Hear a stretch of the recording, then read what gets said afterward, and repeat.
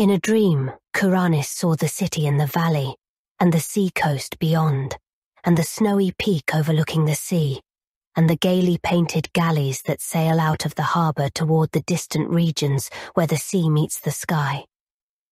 In a dream, it was also that he came by his name of Kuranes, for when awake he was called by another name.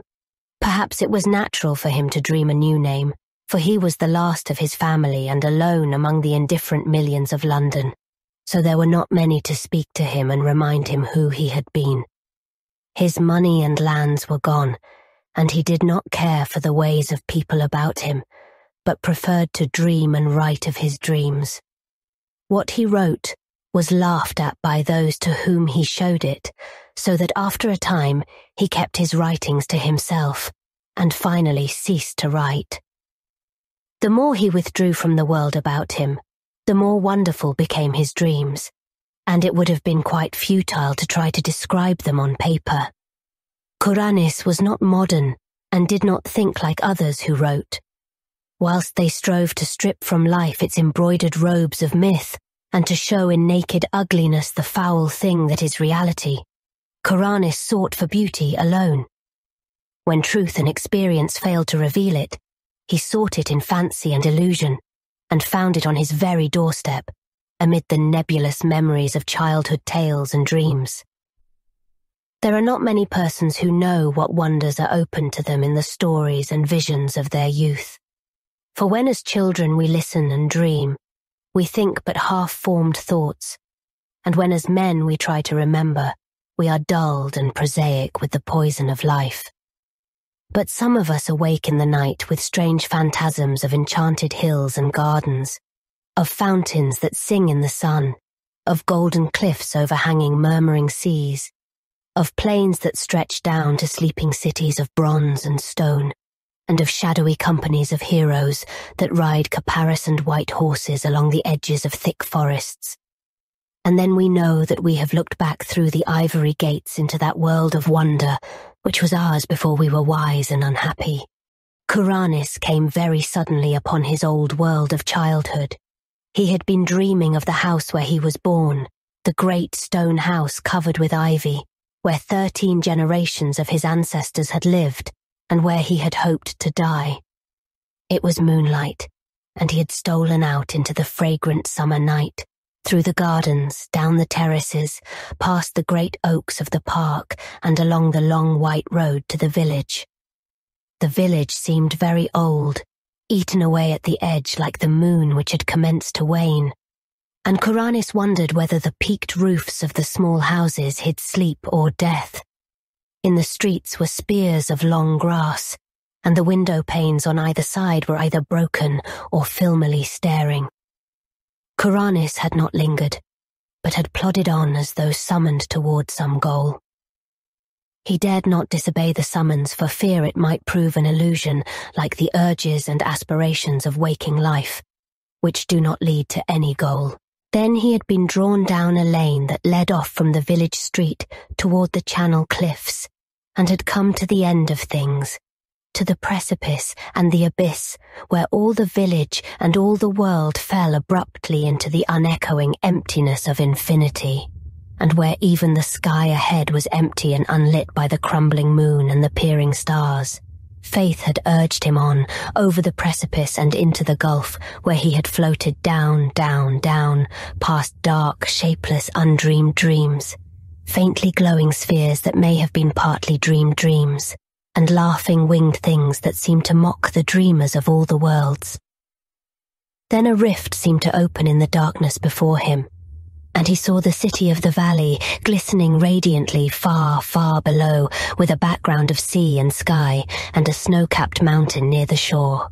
Kuranes had awaked the very moment he beheld the city, yet he knew from his brief glance that it was none other than Celephaïs, in the valley of Ooth-Nargai beyond the Tanarian hills, where his spirit had dwelt all the eternity of an hour one summer afternoon very long ago, when he had slipped away from his nurse and let the warm sea breeze lull him to sleep as he watched the clouds from the cliff near the village. He had protested then when they had found him, waked him, and carried him home. for just as he was aroused, he had been about to sail in a golden galley for those alluring regions where the sea meets the sky. And now he was equally resentful of awaking, for he had found his fabulous city after forty weary years. But three nights afterward, Kuranes came again to Celephaïs.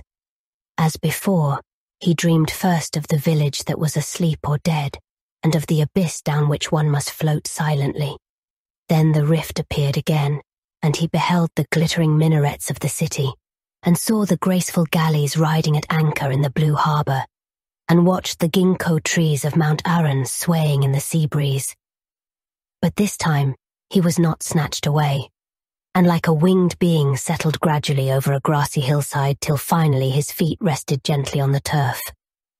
He had indeed come back to the valley of Ooth-Nargai and the splendid city of Celephaï, down the hill amid scented grasses and brilliant flowers walked Kuranes, over the bubbling Naraxa on the small wooden bridge where he had carved his name so many years ago, and through the whispering grove to the great stone bridge by the city gate. All was as of old, nor were the marble walls discoloured, nor the polished bronze statues upon them tarnished, and Kuranes saw that he need not tremble lest the things he knew be vanished for even the sentries on the ramparts were the same, and still as young as he remembered them. When he entered the city, past the bronze gates and over the onyx pavements, the merchants and camel drivers greeted him as if he had never been away. And it was the same at the turquoise temple of Nath Horthath, where the orchid-wreathed priests told him that there is no time in Ooth-Nargai, but only perpetual youth. Then Kuranes walked through the street of pillars to the seaward wall, where gathered the traders and sailors, and strange men from the regions where the sea meets the sky. There he stayed long, gazing out over the bright harbour where the ripples sparkled beneath an unknown sun, and where rode lightly the galleys from far places over the water. And he gazed also upon Mount Aran rising regally from the shore, its lower slopes green with swaying trees and its white summit touching the sky. More than ever, Kuranes wished to sail in a galley to the far places of which he had heard so many strange tales, and he sought again the captain who had agreed to carry him so long ago. He found the man, Athib, sitting on the same chest of spices he had sat upon before, and Athib seemed not to realize that any time had passed. Then the two rowed to a galley in the harbour, and giving orders to the oarsmen, commenced to sail out into the billowy Cerenerian Sea that leads to the sky. For several days they glided undulatingly over the water, till finally they came to the horizon, where the sea meets the sky. Here the galley paused not at all, but floated easily in the blue of the sky among fleecy clouds tinted with rose. And far beneath the keel, Kuranes could see strange lands and rivers and cities of surpassing beauty, spread indolently in the sunshine, which seemed never to lessen or disappear. At length, Athib told him that their journey was near its end, and that they would soon enter the harbour of Serannian, the pink marble city of the clouds, which is built on that ethereal coast where the west wind flows into the sky. But as the highest of the city's carven towers came into sight, there was a sound somewhere in space, and Kuranes awaked in his London garret. For many months after that, Kuranes sought the marvellous city of Celephaïs and its sky-bound galleys in vain. And though his dreams carried him to many gorgeous and unheard-of places, no one whom he met could tell him how to find Ooth-Nargai beyond the Tanarian hills. One night he went flying over dark mountains where there were faint lone campfires at great distances apart, and strange shaggy herds with tinkling bells on the leaders. And in the wildest part of this hilly country, so remote that few men could ever have seen it, he found a hideously ancient wall or causeway of stone zigzagging along the ridges and valleys, too gigantic ever to have risen by human hands, and of such a length that neither end of it could be seen. Beyond that wall in the grey dawn he came to a land of quaint gardens and cherry trees, and when the sun rose he beheld such beauty of red and white flowers, green foliage and lawns, white paths, diamond brooks, blue lakelets, carven bridges, and red-roofed pagodas that he for a moment forgot Celephaïs in sheer delight. But he remembered it again when he walked down a white path toward a red-roofed pagoda and would have questioned the people of that land about it had he not found that there were no people there, but only birds and bees and butterflies. On another night, Kuranes walked up a damp stone spiral stairway endlessly and came to a tower window overlooking a mighty plain and river lit by the full moon. And in the silent city that spread away from the riverbank, he thought he beheld some feature or arrangement which he had known before. He would have descended and asked the way to Ooth-Nargai had not a fearsome aurora sputtered up from some remote place beyond the horizon, showing the ruin and antiquity of the city, and the stagnation of the reedy river, and the death lying upon that land, as it had lain since King Kynaratholis came home from his conquest to find the vengeance of the gods. So Kuranes sought fruitlessly for the marvelous city of Celephaïs and its galleys that sailed to Serannian in the sky. Meanwhile, seeing many wonders and once barely escaping from the high priest not to be described, which wears a yellow silken mask over its face and dwells all alone in a prehistoric stone monastery on the cold desert plateau of Leng. In time, he grew so impatient of the bleak intervals of day that he began buying drugs in order to increase his periods of sleep. Hashish helped a great deal, and once sent him to a part of space where form does not exist, but where glowing gases study the secrets of existence. And a violet-colored gas told him that this part of space was outside what he had called infinity. The gas had not heard of planets and organisms before, but identified Kuranes merely as one from the infinity where matter, energy, and gravitation exist. Kuranes was now very anxious to return to minaret-studded Celophae, and increased his doses of drugs. But eventually he had no more money left and could buy no drugs.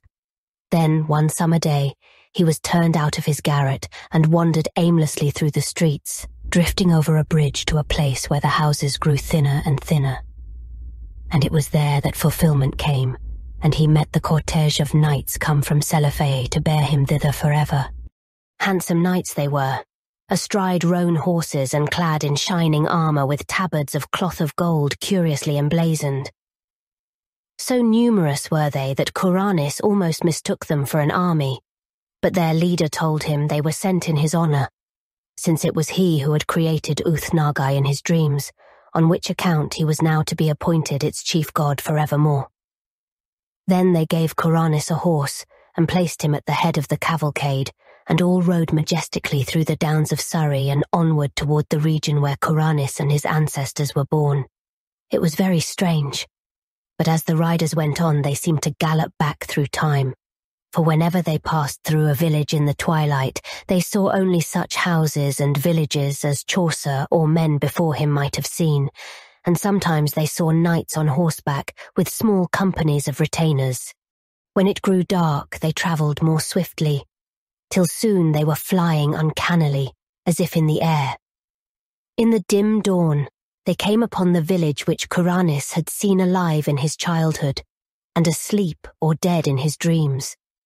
It was alive now, and early villagers courtesied as the horsemen clattered down the street and turned off into the lane that ends in the abyss of dream. Kuranes had previously entered that abyss only at night, and wondered what it would look like by day so he watched anxiously as the column approached its brink. Just as they galloped up the rising ground to the precipice, a golden glare came somewhere out of the east and hid all the landscape in its effulgent draperies. The abyss was now a seething chaos of roseate and cerulean splendor, and invisible voices sang exultantly as the nightly entourage plunged over the edge and floated gracefully down past glittering clouds and silvery coruscations. Endlessly down the horsemen floated, their chargers pouring the ether as if galloping over golden sands, and then the luminous vapors spread apart to reveal a greater brightness, the brightness of the city Celephaïs and the seacoast beyond, and the snowy peak overlooking the sea, and the gaily painted galleys that sail out of the harbour toward distant regions, where the sea meets the sky, and Kuranes reigned thereafter over Ooth-Nargai and all the neighbouring regions of Dream, and held his court alternately in Celephaïs and in the cloud-fashioned Serannian. He reigns there still and will reign happily forever, though below the cliffs at Innsmouth, the channel tides played mockingly with the body of a tramp who had stumbled through the half-deserted village at dawn. Played mockingly, and cast it upon the rocks by ivy-covered Trevor Towers, where a notably fat and especially offensive millionaire brewer enjoys the purchased atmosphere of extinct nobility.